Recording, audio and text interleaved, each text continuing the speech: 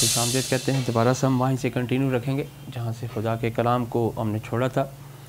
अजीज़ो, हम सीख रहे थे कि खुदा में मसूर है तो वो तेरे दिल की मुरादें पूरी करेगा। मैं आपको बता रहा था कि हन्ना खुदा के हुजूर रो रो के दुआ कर रही थी। वो खुदा में मसरूफ़ थी। उसे इस बात की कोई फ़िक्र नहीं थी कि मुझे एली काइन देख रहा है, या उसका शोर देख रहा है, या कोई और हैकल में मुझे देख रहा है। उसकी नज़र सिर्फ़ उस ज़िंदा खुदा पर थी, जिसके हजूर वो आई हुई थी और वो अपने मुँह को खोल कर खुदा से बातें कर रही थी। खुदा में मसरूर थी और खुदा से जब मसरूर थी तो एली ने इस बात को देख कर ये समझा कि शायद हन्ना नशे में है। ये बातें जब हो रही थी तो उस औरत ने, जिसका नाम हन्ना है, उसने कहा कि ए मेरे मालिक, ऐसा नहीं है। मैं तो गमकीन औरत हूँ। तब एली ने उसकी बातों को जब सब बातों को सुना। एली, चूँकि खुदा का कायन था, खुदा के कायन, जो कुछ खुदा से मांगते हैं, खुदा से दुआ करते हैं, वो ऐसा हो जाता है क्योंकि खुदा के खादमीन है। अज़ीज़, बताना चाहता हूँ, जब एली ने इस बात को सुना उसने कहा कि सलामत चली जा जा और इसराइल का खुदा तेरी मुराद जो तूने उससे मांगी है, पूरी करेगा। हाले लुया हन्ना की दुआ को खुदा ने सुना और लिखा है कि खुदा ने उसे नारीना फर्जंद सैमुल बख्शा। और ना सिर्फ़ सैमुल ही बख्शा, इसके एवज़ खुदा ने उस हन्ना को तीन बेटे और दो बेटियाँ और अनायत की, ये खुदावन कादर मुतलिक खुदा है जो सब कुछ करने की कुदरत रखता है। जो कोई खुदावन में मसरूर रहेगा। खुदावन उन सब की दिल की मुरादों को क्या करता है? पूरा करता है। हमारा ईमान और तवक्ल होना चाहिए कि खुदा कुदरत वाला है, कादर मुतलिक है, वो दिलों और गुर्दों को जाँच लेने वाला खुदा है, वही मुरादों को पूरा करता है, वही हमारे ख्यालों को जानता है, हमारी हर एक नीड को जानता है। कलाम में लिखा है कि तू अपनी राह खुदावंत पर छोड़ दे, वो सब कुछ करेगा। सब कुछ करेगा। जैसे हन्ना ने दुआ की, आपको बताना चाहता हूँ, इसी तरह एक और खुदा का बंदा, जिसे हम जानते हैं, कलाम में उसके बारे में बहुत कुछ लिखा है, जिसको आप बताना चाहता हूँ कि सुलेमान, दाऊद का बेटा सुलेमान जब बादशाह बना तो पहला सलातीन और उसके तीसरे बाप में एक बहुत बड़ी बात जो लिखी है कि मुरादों को पूरा करने वाला खुदा, जो दिलों और गुर्दों को जाँच लेता है तीसरे बाप की दसवीं ऐसे आपके साथ शेयर करना चाहता हूँ कि खुदामंद जो अजीम खुदा है, कादर मुतलिक है। लिखा कि सुलेमान रात को जब सो रहा था तो उसने ख्वाब देखी और खुदा ने उससे कहा कि तू मांग, मैं तुझे क्या दूँ? सुलेमान ने खुदा से दुआ की कि मुझे क्या कर? कि खुदा ऐसा बना दे कि मैं इस बड़ी कौम का इंसाफ कर सकूँ।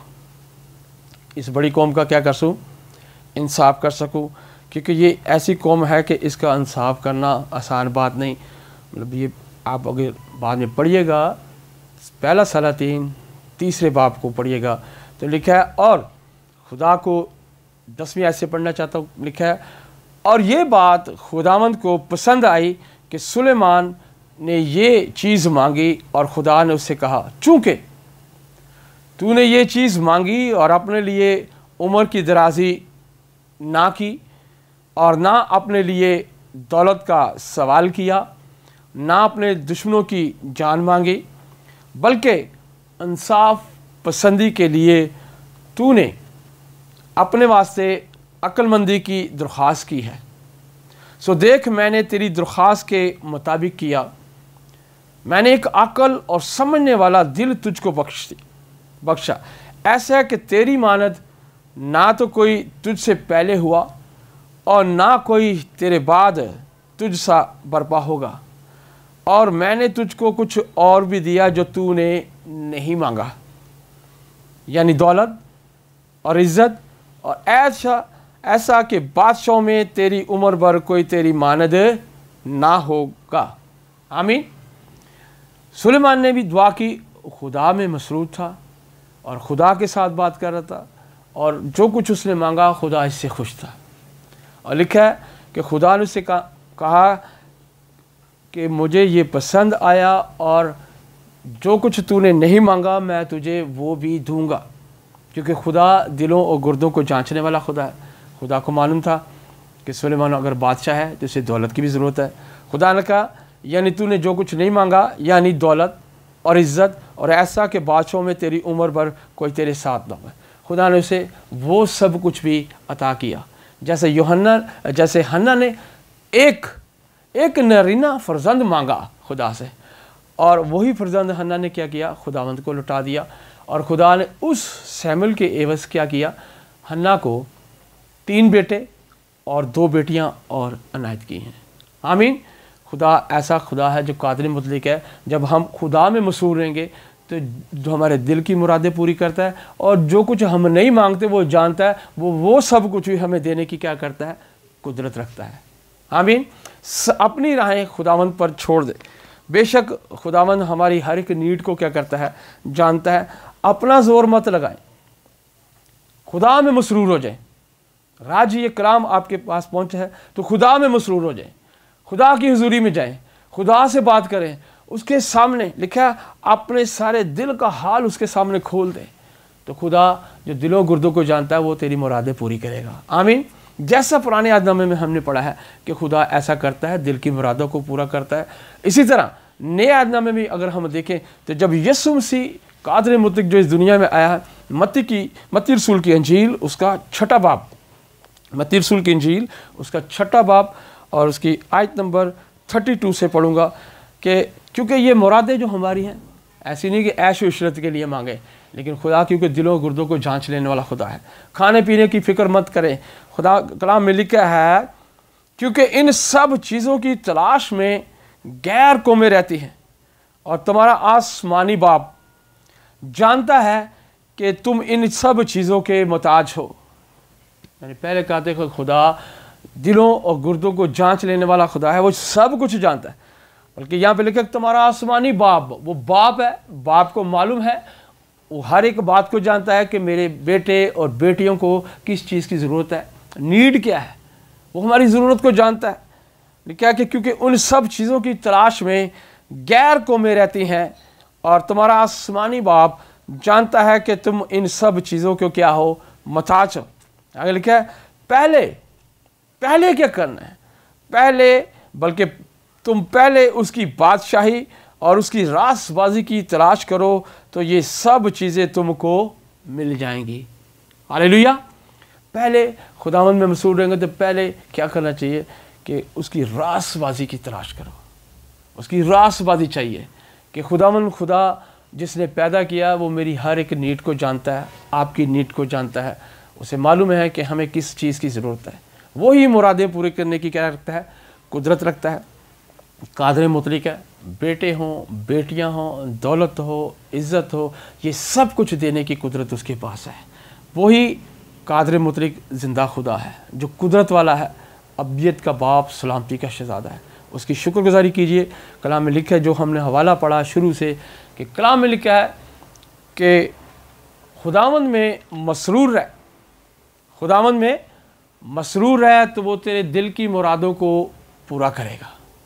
अपनी राह खुदावन पर छोड़ दे। वो सब कुछ करेगा, क्योंकि सब कुछ उसके हाथ में है। जिसको चाहता है, जैसा चाहता है, जहाँ चाहता है, वो सब कुछ देने की कुदरत रखता है, क्योंकि उसे मालूम है कि हमें किस चीज़ की क्या है ज़रूरत है। आमीन। क्योंकि खुदाबन हमारा खुदा कादर मुतलिक है। उसने हमें खलक किया है। वो हमारी हर एक बात से वाकफ़ है। लेकिन हमें खुदावन में मसरूर रहने की क्या है?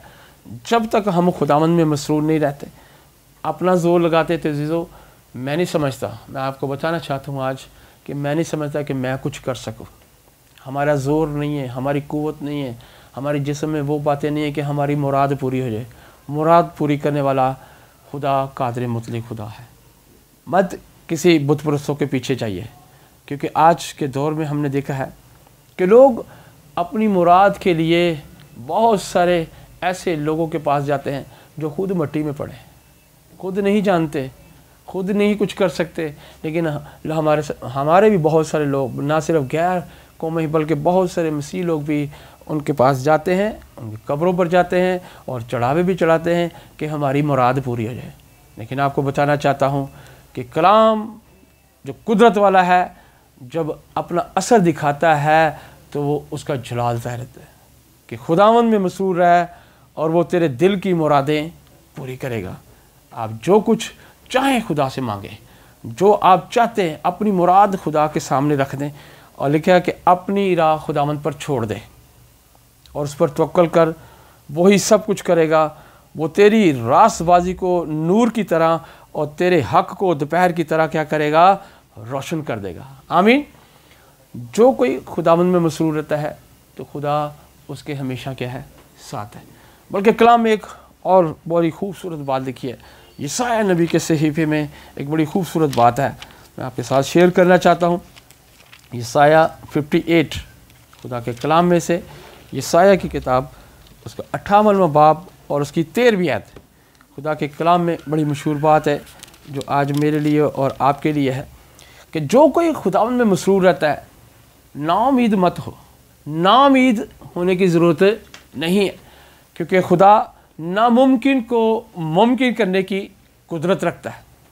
अगर हमारे यहाँ सब्बत का दिन है, जिसे जैसा कि पहले ओल्ड टेस्टमेंट में हफ़्ते के दिन को सब्बत का दिन कहते हैं, लेकिन आज के दौर में, संडे को जब हम खुदा के हजूर जाते हैं तो मैं आपको बताना चाहता हूँ, जो कोई खुदावन में मसरूर है अगर आप मसरूर हैं तो कला में एक बात लिखी है मैं आपके सामने रखना चाहता हूँ। अगर तू सब्बत के रोज़ अपना पाँव रोके रखे और मेरे मुकद्दस दिन में अपनी खुशी का तालब ना हो और सब्बत को राहत और खुदावंत का मुकद्दस और मौज़म कहे और उसके ता, उसकी तज़ीम करे अपना कारोबार ना करे अपनी खुशी और बेफादा बातों से दस्त बरदार रहे तब तू खुदावंद में मसरूर होगा। मैं तुझे दुनिया की बुलंदियों पर, मैं तुझे दुनिया की बुलंदियों पर ले चलूँगा और मैं तुझे तेरे बाप यकूब की मिरास से खिलाऊँगा, क्योंकि तू खुदावन ही के मुँह से ये अरशाद हुआ है। आमीन। बेशक अज़ीज़ खुदावन ऐसा खुदा है जो हमारे दिल की मुरादों को पूरा करने की कुदरत रखता है। बहुत शुक्रिया। आया हम सब मिलकर खुदा के हजूर दुआ भी करेंगे। खुदा अजीम पाक मुबारक खुदा। तेरा शुक्र, तेरी तारीफ़, तेरी तमजीद करता हूँ। कि तू जो अपने वादों में सच्चा है, कुदरत वाला है, कादर मुतलिक है, जो दिलों और गुर्दों को जाँच लेने वाला खुदा है, मैं तेरी शुक्रगुजारी करता हूँ। आज खुदा खुदा, तेरे हजूर इस कलाम के लिए शुक्रगुजारी करते हुए चाहता हूँ कि खुदा तेरा पाक रूह हमें छुए और इन तमाम लोगों ने जिन्होंने तेरे कलाम को सुना है, और खुदावन हमेशा तुझ में मसूर रहें ताकि इनकी दिल की मुरादें पूरी हों और इनकी ज़िंदगियों से तुझे जलाल मिले और तेरा ही नाम इज़्ज़त और जलाल पाता चले। सी टी एन टेलीविज़न के लिए तेरी शुक्रगुजारी करता हूँ। खुदा खुदा, तू जो इनकी हिफाजत करने वाला खुदा है, तेरे पाक रू की कुदरत की लपेट में दे देता हूँ खुदा खुदा। तेरा हाथ हमेशा सी टी एन टेलीविज़न पर बड़ा रहे। हर किस्म के खुदा खुदा अबलीसी हमले से बचा के रखिएगा। अपनी कुदरत को ज़ाहिर कीजिएगा। तमाम अमले के लिए तेरी शुक्रगुजारी करता हूँ। पाशा साहब के लिए तेरी शुक्रगुजारी करता हूँ। जो इस काम को कर रहे हैं कि खुदा खुदा, तेरे कलाम की मुनादी खुदा खुदा, इस चैनल के ज़रिए खुदा खुदा, दूर दराज इलाकों में भी खुदा खुदा तेरी मनादी हो रही है। हम तेरी शुक्रगुजारी करते चाहते हैं कि खुदा अपना हाथ बढ़ाए रख, अपनी बरकतों से माला माल कर और इस चैनल के वसीले से तेरे नाम को जलाल मिले, तेरा नाम ऊँचा हो और तू बढ़ता जाए। खुदा उन खुदा, और हम कम होते जाएँ बेशक, लेकिन खुदा उन तेरा नाम इज़्ज़त और जलाल पाए, क्योंकि तू ही हमारा खालिक और मालिक है। मैं तेरी शुक्रगुजारी करता हूँ। तेरा शुक्र, तेरी तारीफ़ और तेरी तमजीद हो। यसु मसीह के नाम से।